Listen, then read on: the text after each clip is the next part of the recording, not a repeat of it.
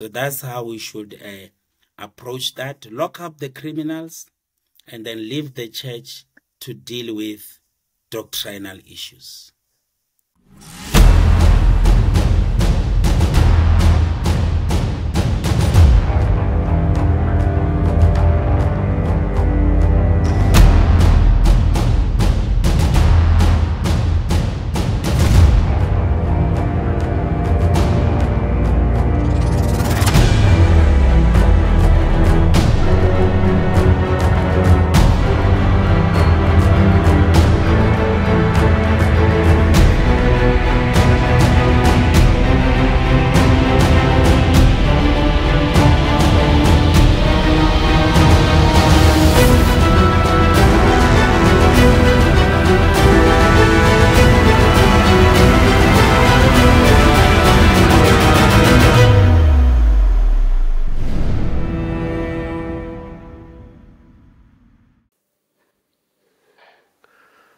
So, yes, you have given us uh, a, a, description of uh, what a new prophetic church is and how it looks like.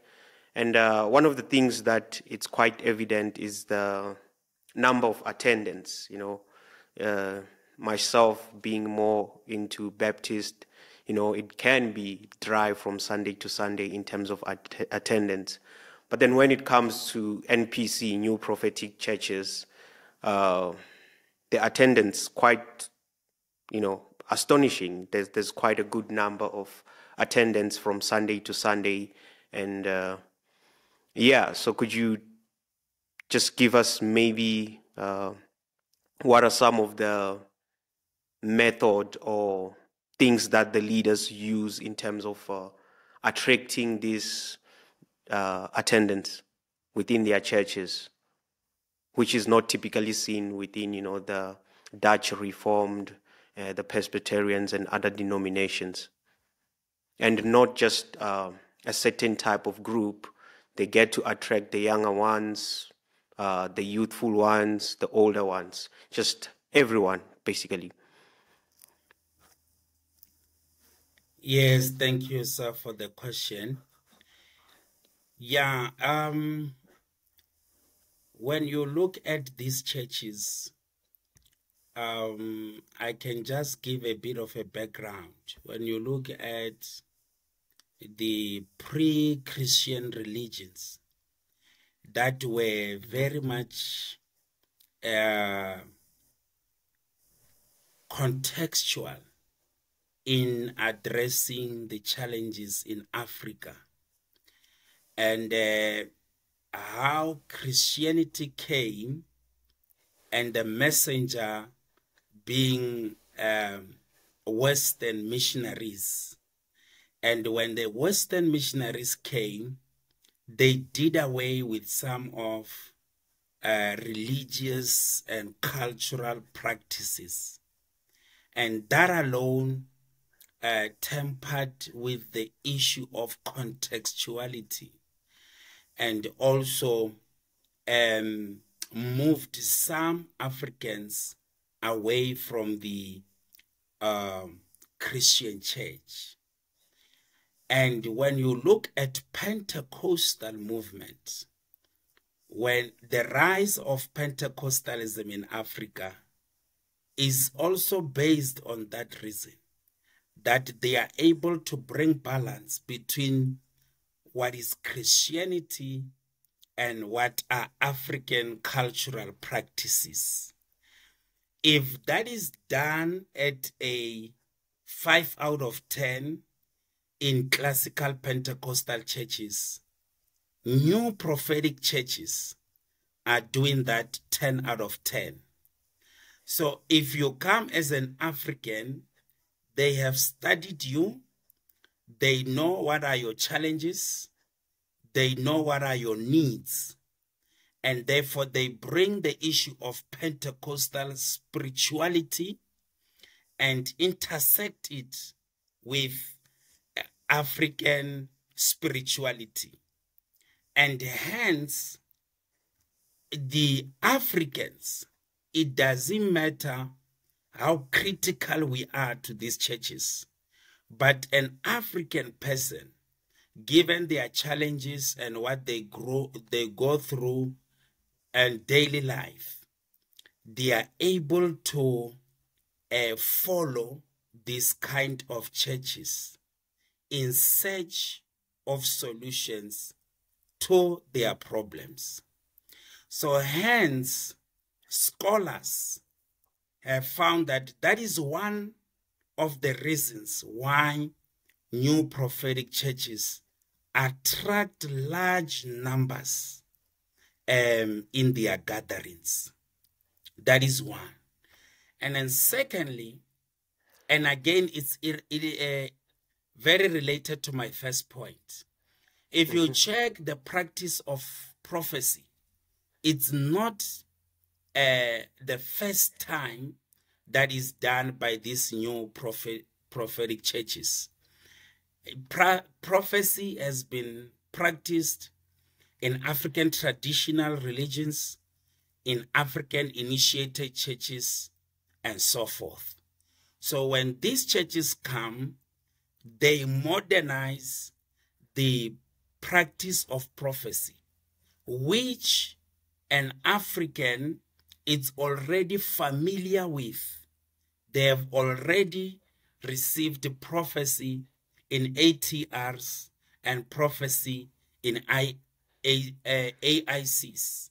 So when they come to NPCs, they are already used to the practice of prophecy. And Africans, uh, Percy, they love uh, prophecy. They want to mm-hmm. know uh, what is it? What is it wrong with me? Why are things not going uh, my way? And therefore, they go to these churches. You and I can observe and see that some of the prophecies are just performed, they are just staged, uh, but the people who are there, they have hope because a president mm. will stand and say there are no jobs, but a prophet will stand and say you're mm, gonna mm, receive mm, this, you're gonna receive that. So an African person has a hope if uh, in the prophet even more than uh, the politician. So that is what is happening with these churches. And uh, my third point will be the their appeal for people who are struggling uh, with issues of African uh, spirituality. Remember that in Africa, there is a connection between what people go through and the spirit world.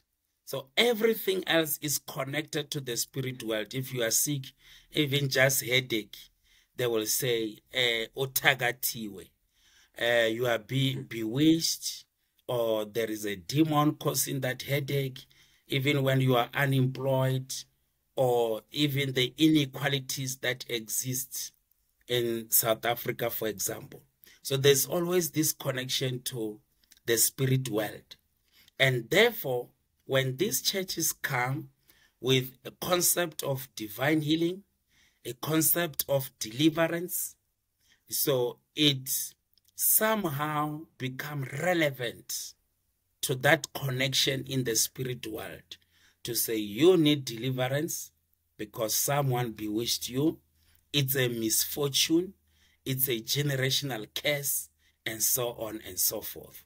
So they present the problem so that you will go to them for a solution. And those three reasons are some of the reasons why these churches will be full as compared to uh, Pastor Percy, who is just preaching uh, the word. And and um, for these prophets, they go beyond conventional preaching. They talk deliverance. They talk healing. They talk uh, African spirituality without saying it, without saying we are helping you the same way a traditional healer is helping you the same way an inyanga is helping you, a sangoma is helping you. Uh, they don't say it, but when we study these things, we are able to draw parallelism. Mm, mm, thank you for such a detailed explanation as to why people are drawn into uh, the new prophetic churches. Uh, yeah, and uh, you know, one of the most important member, uh, highly respected member at the church, at the new prophetic church, it is the leader. Uh, it is the one who has the vision, sort of like he's the one who is uh, directing and shifting everything within the church. There's this sort of like, you know, uh, I would uh, be tempted to call it a prideful way of uh, running the church.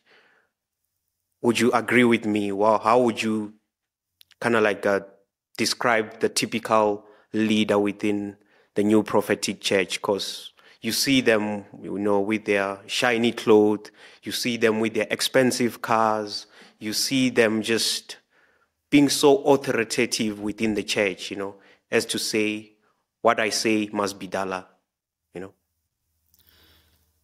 Yes, uh, and uh, by raising that question, uh, Percy, you have just uh, helped us again to make a distinction between these churches mm. and other uh, churches, even within the same tradition.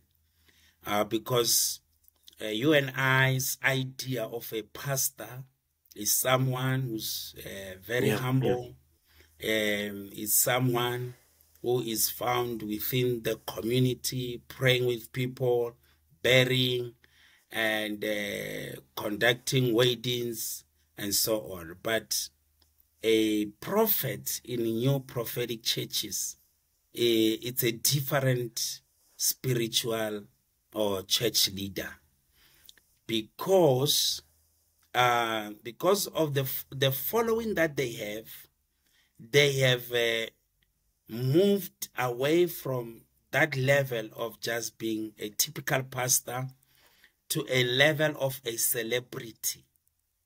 So the same way a, a celebrity will boast about their uh, clothing, their vehicles, their mansions. It is the same way that a a prophet will will do, because um, whatever they are talking about, whatever they are preaching, they want to convince the mind that indeed what they are preaching they have become uh, to tempt you to become like them. So when they talk prosperity, when they talk wealth, mm-hmm.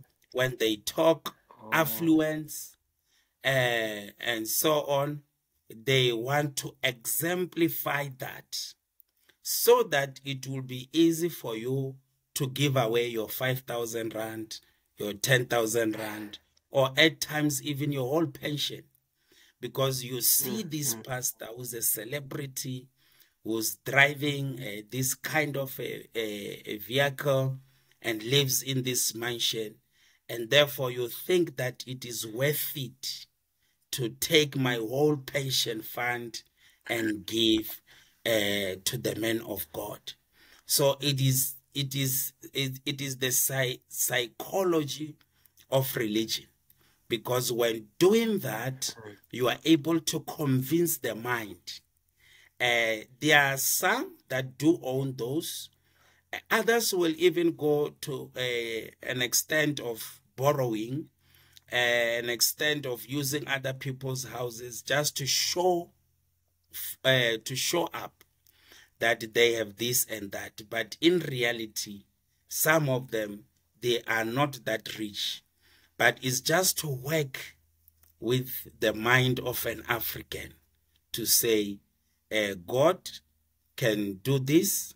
Look at me. He has done it for me. And therefore, he can do for it for you as well.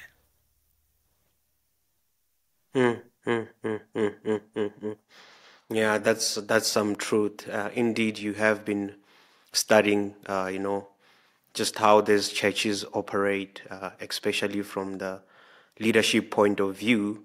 Uh, could we now get into a typical member who just comes on a Sunday,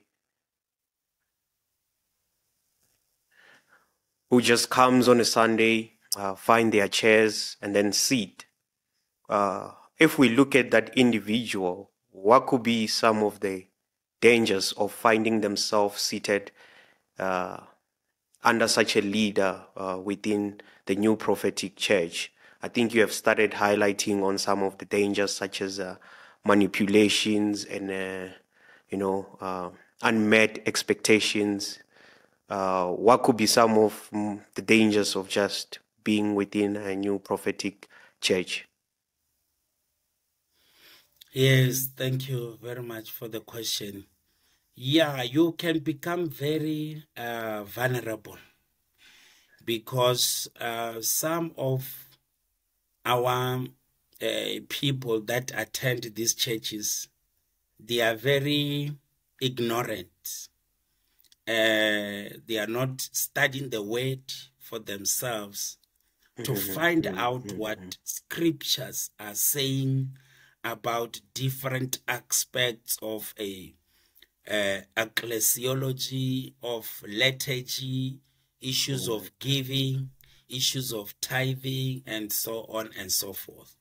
So you can be very much uh, vulnerable in the sense that you would do things not knowing what you are getting yourself into we have heard about, like I said, of members in these churches who would give their uh, last money and so on that they could be using to uh, educate their children and for their own upkeep. And by so saying, I'm not saying we shouldn't give in church. We should, but um, as much as we do it with emotions uh, being led by the Spirit, we should also do it uh, with understanding and knowing what am I getting myself into. Uh, to me, it appears that some of the followers, they did not know what they were doing when they were giving and uh, when they were just, it's more like, uh, like you said, manipulation, um, it's like they are manipulated and so on. So uh, you can be very much uh, vulnerable, you can be manipulated and so on. Hence the importance of studying the word of God for your own good, for your own knowledge, so that you will know uh, when a prophet stands and says something, you will have to verify it in scripture and so on. The, the mm-hmm. Bible says, in the witnesses of two or three, the word shall be established. It means that when I say something, uh, Percy, don't just take it as the truth. You need to hear from uh, the other two people, and then you can indeed say, This I accept as truth.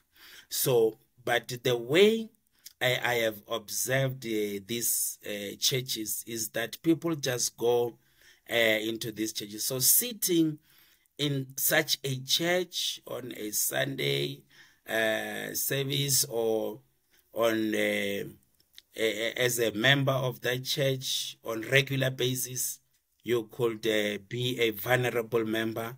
You could do things that you don't understand but then also, um, there are some of the pastors and churches that have been involved in cultist practices. Some are not uh, are more than cultist, cultistic uh, practices. They are more ritualistic uh, uh practices and so on. So you could find yourself being hooked in some of the practices that you don't know yourself um, because you have joined a, a church that is practicing such. And then my last point is that some of the people were separated with their families. Uh, when a, such pastors and prophets want to take control of you, they separate you from family, from friends, and so on.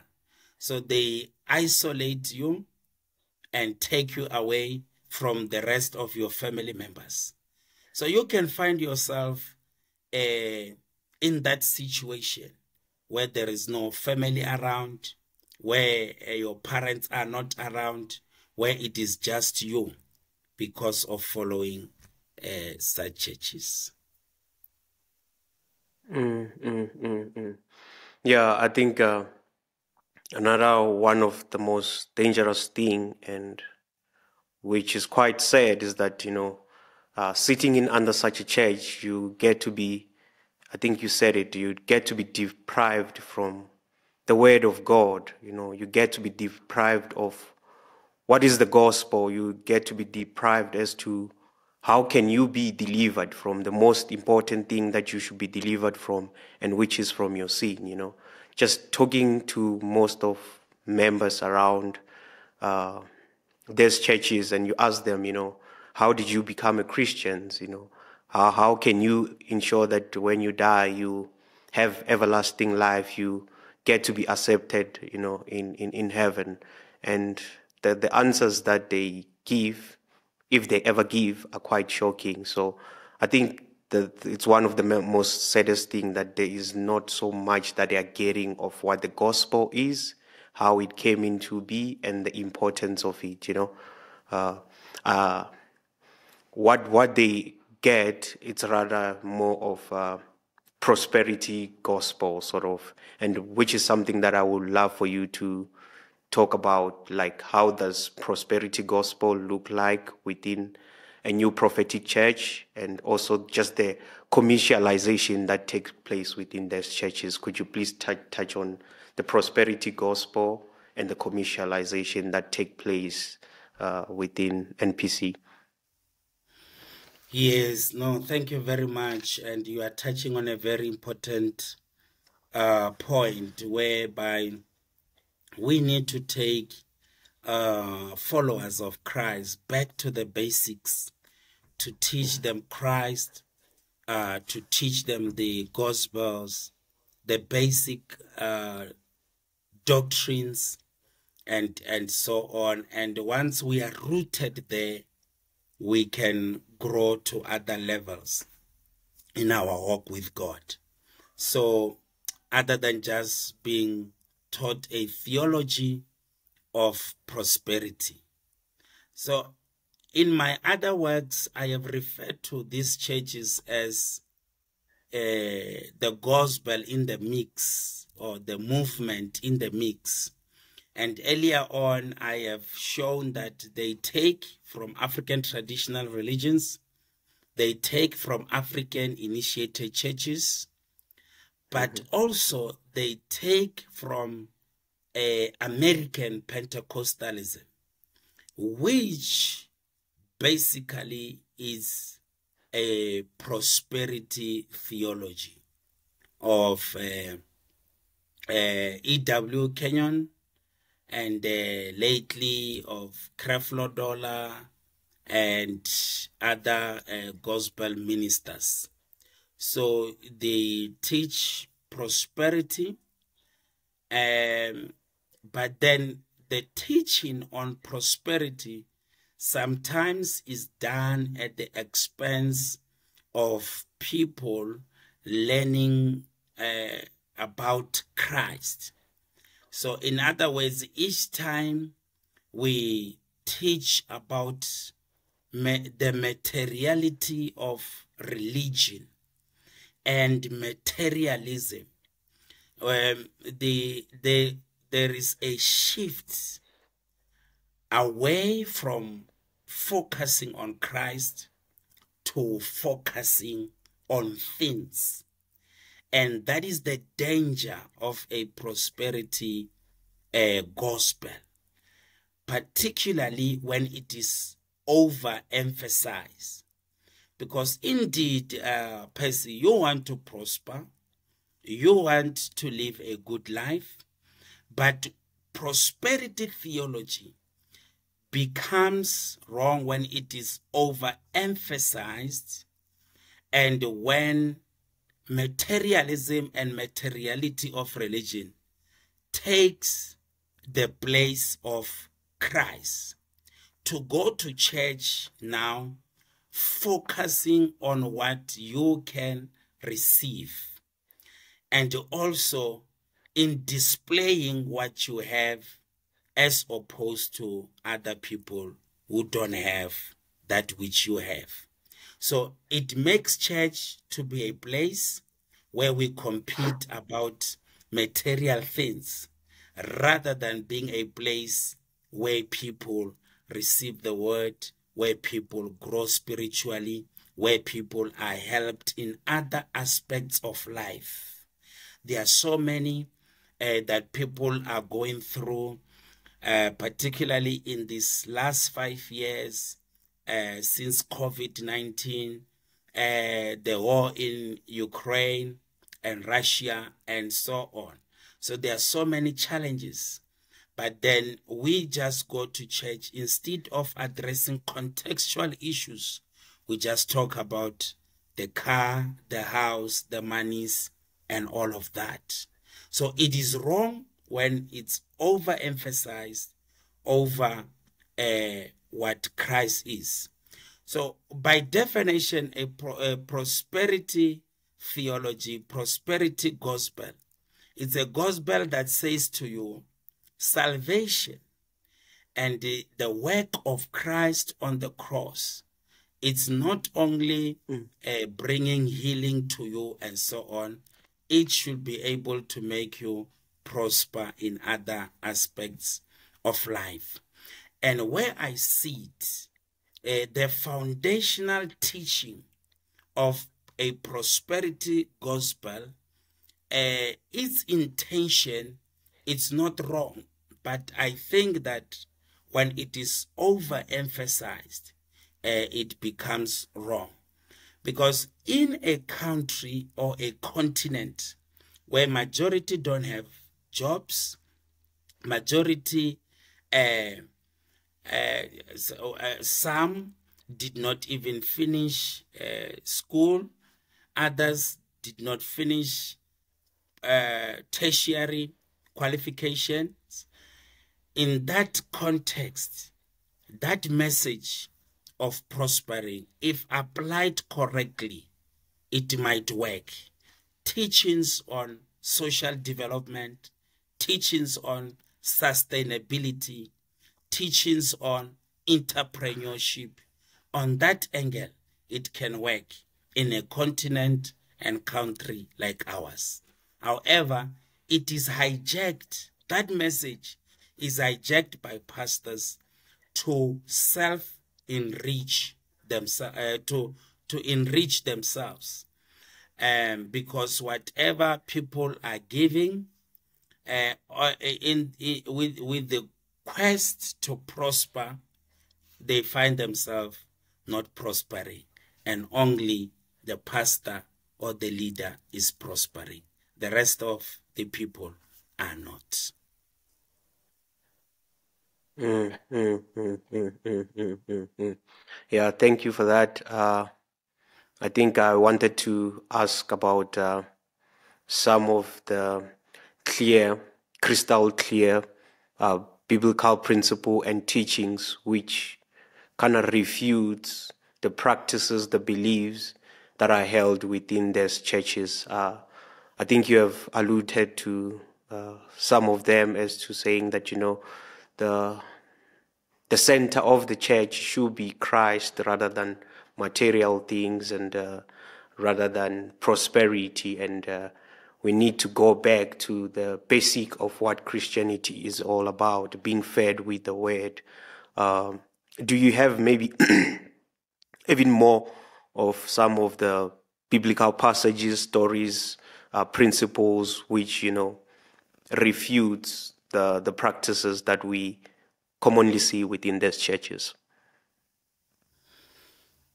Yes, and I think uh, it is important to mention that uh, when a believer comes to Christ, we we should see uh, the sufficiency of Christ in redeeming uh, an African believer, because that's where the problem is. That's where the it is basically the foundation of new prophetic churches theology. Um, they come to you and say, it's not enough for you to say you are born again. It's not enough for you to say, I follow Christ. Therefore, you need something extra. And that is where we open a door for the materiality of religion, for the objectification of the gospel, the commercialization, the commodification of the gospel. Because a prophet is able to convince you that uh, accepting Christ alone it's not enough. You have to have an, an anointing oil somewhere. You need to have an anointed water uh, somewhere to help you to be delivered. Now, when let's go to scriptures.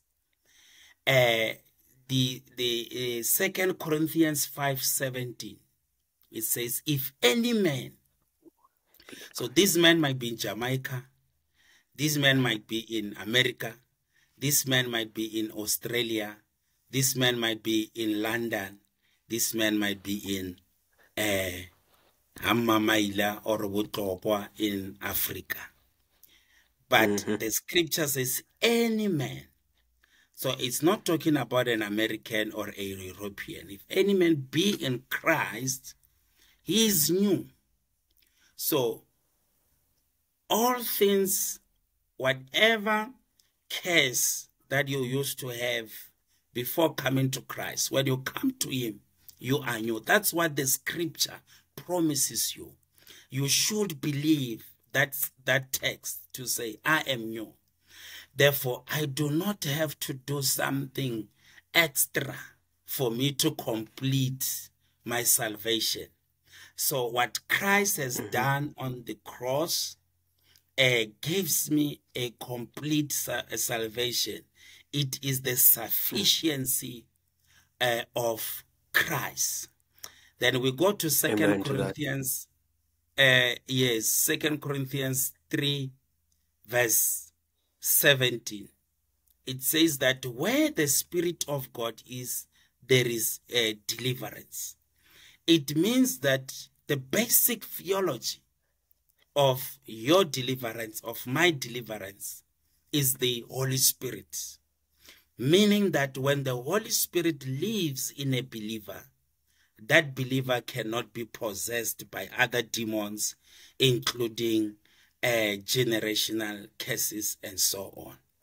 So, mm. those are some of the uh, biblical theology that we can use to correct uh, the, the theologies that encourages people to engage in all this uh, materiality and so on.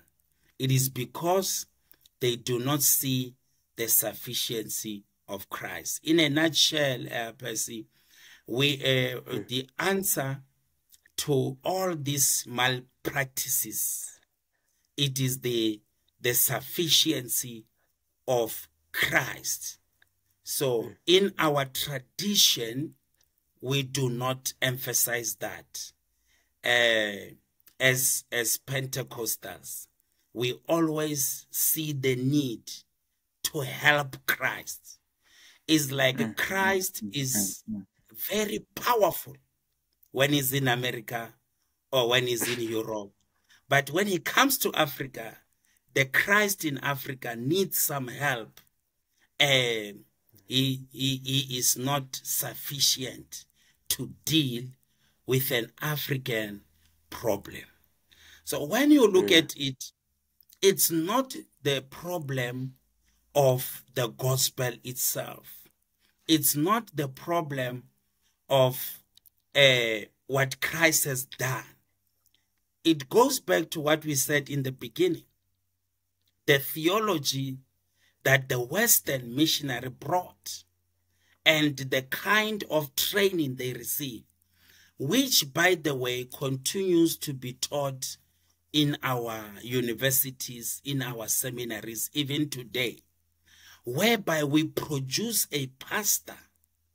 When a demon manifests, uh, John Mbiti in one of the in one of his books mentions this, that a demon would manifest, and that pastor with a wrong Western theology will not be able to deal with that demon. So it is not because Christ cannot uh, help an African. It is the theologies that have occupied our pastors. And the new prophetic churches have seen the gap. That's why they come and say, no, you need more help. Uh, in the church that you used to belong to, they didn't deal with your problem. I can deal with your problem. Not knowing that in that mm. very same church where you are, if you can call upon the name of the Lord, you will be saved. You don't need the materiality of religion. Thank you, sir. Yeah, uh, a lot of amens to what you have said. Indeed, we should uh, look to Christ and Christ alone for our salvation, you know, and our satisfaction also. Understanding that He has purchased us with His precious blood sufficient to cleanse us all from our sins and all our anxieties, stress, and burdens. As he says that, you know, anyone who is burdened, let him come to me, you know. Uh, he is a gently, he is a gently savior. So, yeah, what an encouragement uh, that is, you know, and also just uh, understanding that he has torn the curtain in two, you know, just now we are even called priesthood in, in, in the New Testament, meaning that we have a direct access to God. So you do not need anyone, you know, just to access the throne of grace. You just, uh, Christ has done that. Christ is the interceder. There's no one who should uh, be a stumbling block. You know, your prayers can be heard as much as the pastor or someone whom you regard as a spiritual father your prayers, God can hear them through uh, the grace which is provided in the wonderful name of our Lord Jesus Christ. But then uh, in most churches, it is not so. You know, we have touched on it that we do see a lot of abuses, uh, you know, whether it be mental abuses, sometimes it even manifests through physical abuse. You know, there have been a lot of reports in the news, uh, yeah, you probably have heard something which is shocking, something that which you do not expect to be happening within the body of Christ. But unfortunately, this has happened. Uh, so I just, with with with that, I just want to ask, you know, uh, based on on uh, First First Peter chapter two, where where it says that you know, God has instituted the government to uh, reward those who do good and punish those who do evil.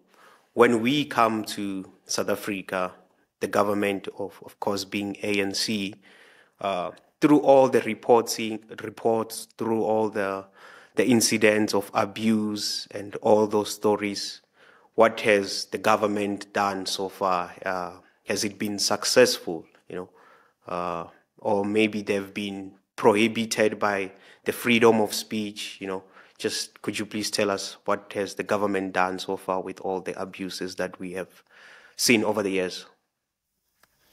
Yes, thank you, sir. Um, I think first of all, we indeed you are correct to point to various abuses, uh, various practices. I have called them unusual practices. And again, as a Pentecostal, having grown up in church, uh, got born again at the age of 14, and uh, and became a pastor. I observed and said to myself, this is not common. These are unusual practices. So, but then those practices need to be uh, categorized appropriately um, because there are some that are criminal. Uh, there are others that are doctrinal and uh, others that refer to issues of gender based violence. And lastly, there are practices that tamper with human rights. Mm. So when you look at those kind of practices, indeed the government has a role to play. So for any criminal act, whether I'm a pastor, a professor, a politician, a medical doctor, or any other professional, when you engage in a criminal act, uh, the law must take it, its course. So there shouldn't be a special inquiry. There shouldn't be a commission. Uh, even our uh, CRL commission, yeah. you know, it, it it's um, it's not necessary to involve them in a criminal act.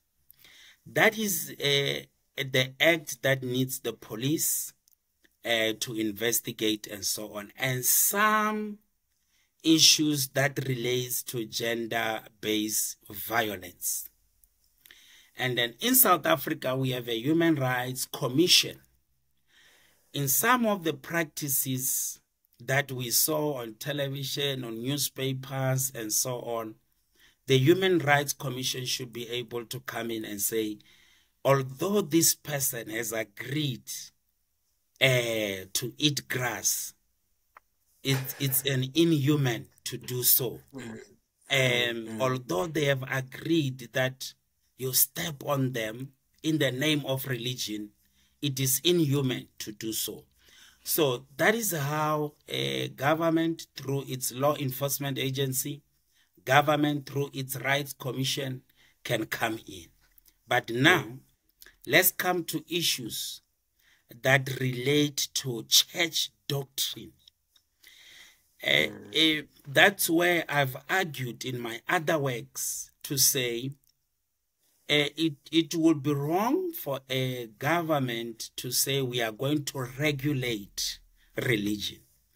And I have explained this is where the government will have challenges.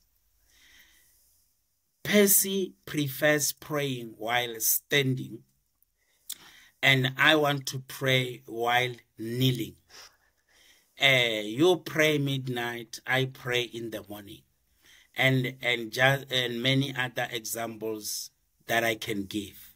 So when it comes to issues of doctrine and some of the practices, although they involve human rights, if you look at the issue of grass and the issue of petrol, um, the pastor said, you have been eating bread and, and wine as symbols of the Holy Communion. Then he comes and he says, the snake and the, the grass replaces the bread and the wine.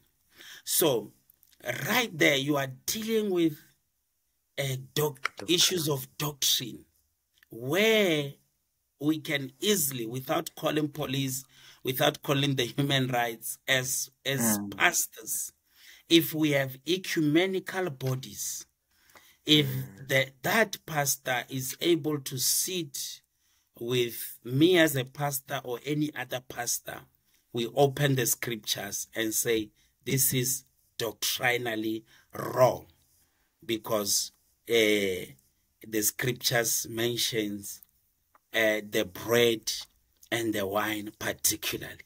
And therefore you cannot use any other thing. So th those are some of the discussions that we should be having uh, here in in south africa.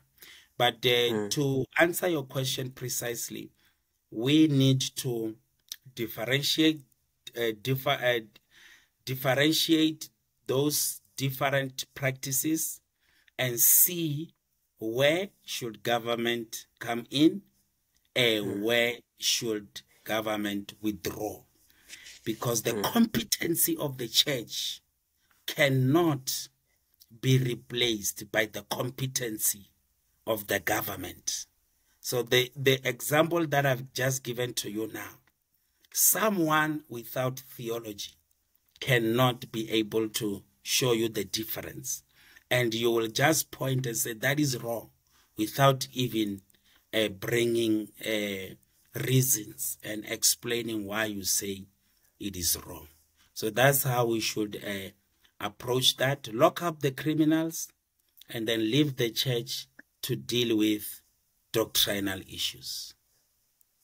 Yeah yeah yeah. And it can get to be a hard practice to apply uh, within a new prophetic church since you know there's no sort of like accountability because for us to correct such things you know uh, there needs to be uh, accountability. I think ecclesiastes 4 says that you know uh, two is better than one so that when the other one falls the other can sort of like uh, redeem the person. But we there's no way such a practice can be done if it is only you know a one man uh, building his own kingdom so yeah i think there's also that that, that uh, challenge but then uh, yeah if i can just come in there percy uh, before yeah please please please question. yes um, i think you are raising a very crucial point uh, it is a question also in my uh, research work mm. in the in the in the article that I referred to. Um, and we should be able to say that a, a government must provide an oversight role. They are already doing this in other sectors. A, a, when a government provides an oversight role, when they provide an administrative support for churches, we shouldn't see that as regulation. For example, if churches say, if governments say, any other church that is opened should be opened under this umbrella or this administrative organization.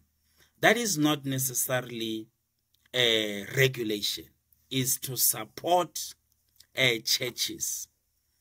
Um, and therefore, we should be able to say whether you are Pentecostal or Catholic and so on, you need to belong to a certain ecumenical body.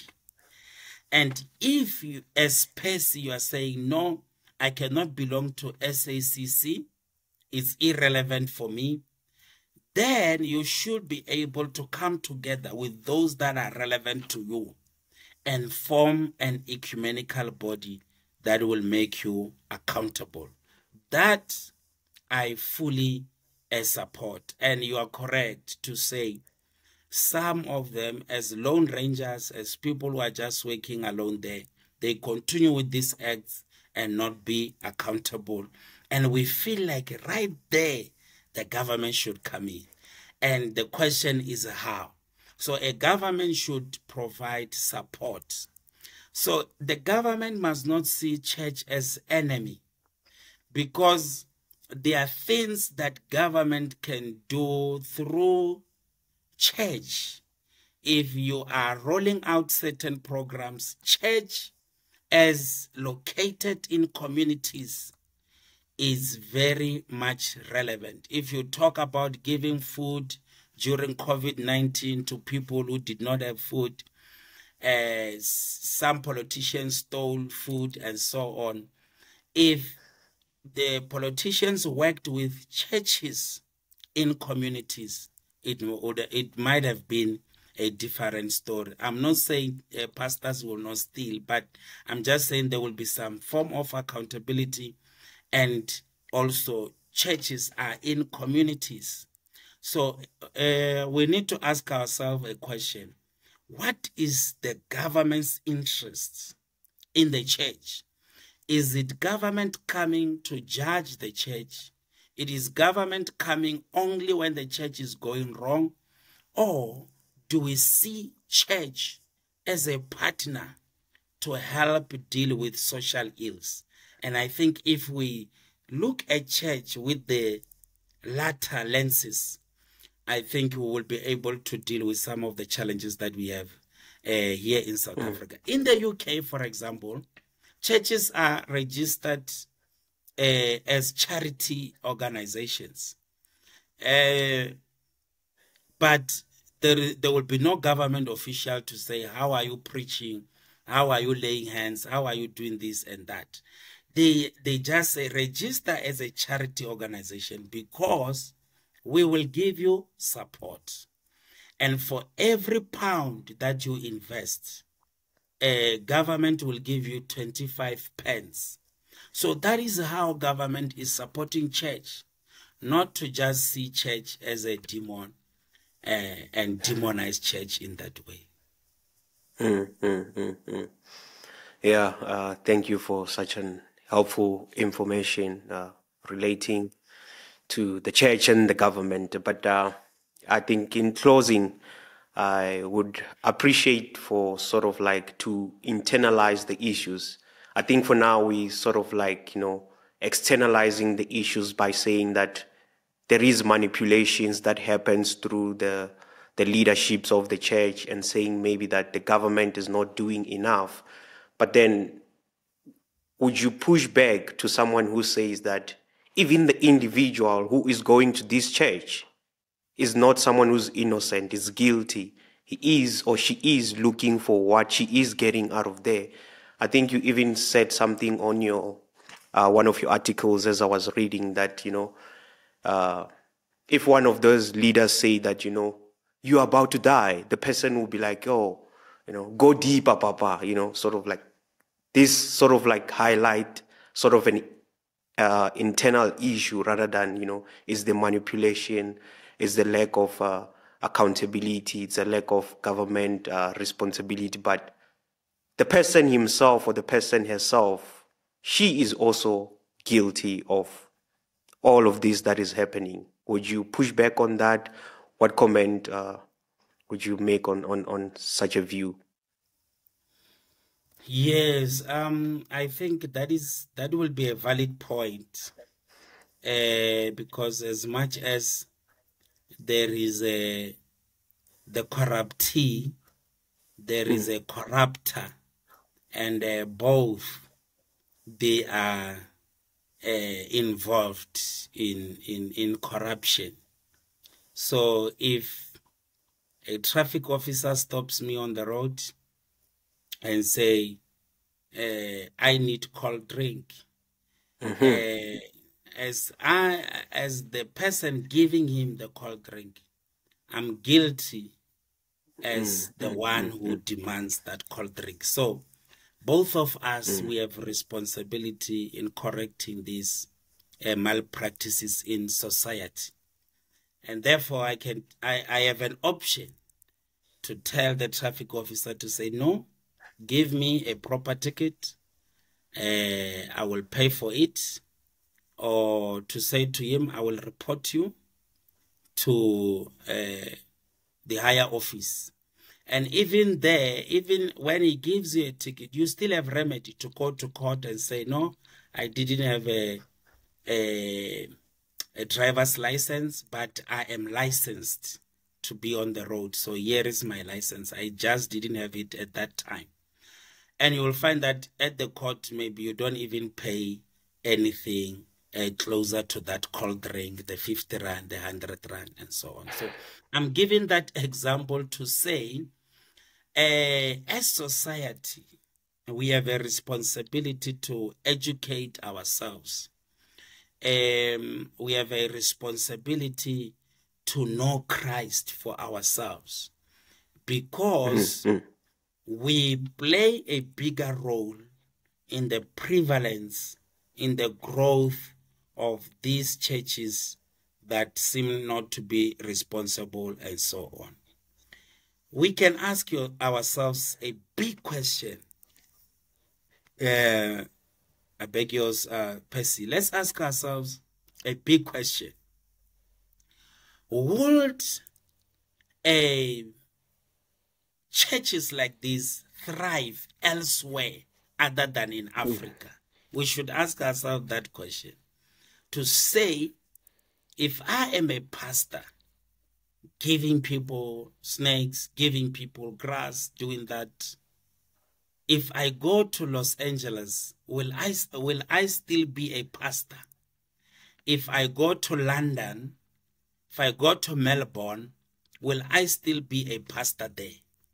And in my view, having traveled to those uh, cities and countries, I think the answer is no. They will arrest you quickly, or you will not even have support from the people. Uh, you will not have people following you uh, because they can read, they can see that no, uh, Percy is not carrying the real one. Uh, having said that, there are uh, malpractices of religion in those spaces as well. Uh, mm. But they are very minimal.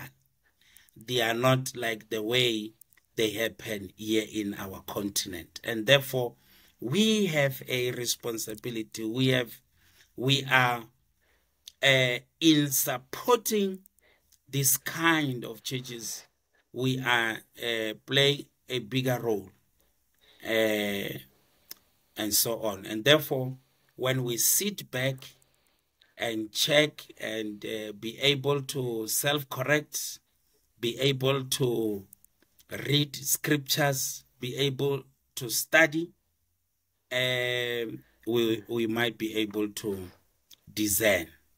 And therefore, in one of my mm. articles, I suggest the theology of discernment, whereby as a believer, I must be able to say, no, it can't be. Uh, uh, this is inconsistent with scriptures. This is not how yeah. I know uh, giving or whatever aspects of church in that at that time. So we should be able to move in discernment. And mm. when we do, we will be able to help deal with these issues. Thank you, sir. Mm, mm, mm, mm. Wonderful stuff right there. Wonderful stuff. Uh, but uh, unfortunately, you know, though there's still a lot of information, details that we could uh, touch in, I think uh, for today we should uh, call it a day. I think we have run over an hour now. So, uh, yes, that was uh, Professor Solomon, all the way from uh, university. A wonderful discussion on uh, the new prophetic churches. Uh, say, I hope you know we could uh, do more of this. I could see that you know you so passionate about Pentecostalism, about churches, and the people of South Africa. So you know, I'm looking forward, if uh, the Lord wills, that we could uh, engage more on other topics and uh, continue to sharpen the people who need knowledge. Yes, uh, as we said in the beginning, that uh, the, uh, Professor Solomon has written a lot of stuff regarding Pentecostalism and various topics. So, if you want to purchase his books. I will leave uh, a link in the description. Uh, which which book would you recommend for someone to, you know, start with, if if if they're interested into just uh, reading about what you have written? Yes, um, I would recommend the my book published with Palgrave Macmillan, uh, Pentecostalism and Culticism in South Africa. Pentecost. Uh, it's a it's a good start, and it offers uh, knowledge of what these movements are and how to deal with these issues. So a lot of things that we discussed today uh, are summarized in that book. Oh, great. Yeah, that's it from us catch you some other time. Cheers. Thank you, Zay.